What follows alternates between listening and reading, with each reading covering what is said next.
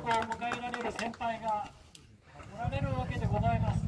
で今まであの何人か行ったところであったりしたらやっぱり同じようでした。で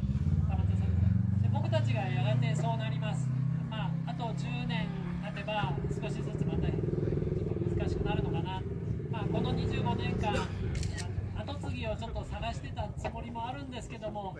なかなかですねあの時間を割くことがあります。ホームページの管理もそれなりです。掲示板の管理もですね。で掲示板についてもですね閉じることにします。あの掲示板も借り物なんですよ。人の。あ、以前、もうこちら来られてないけどですね、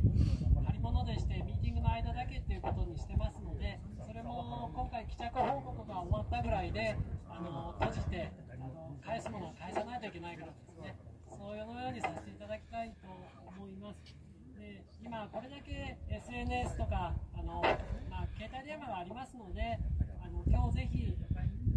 同じ地域とか同じバイクの集まりの人とあの連絡先を交換してその別にイベントじゃなくてもいいからですねどこへんに走りに行ってるとかあったらステッカー貼ってるの見たら声かけてねとかそういったことで少しでも近くの場所で集まりができたらいいなと思っております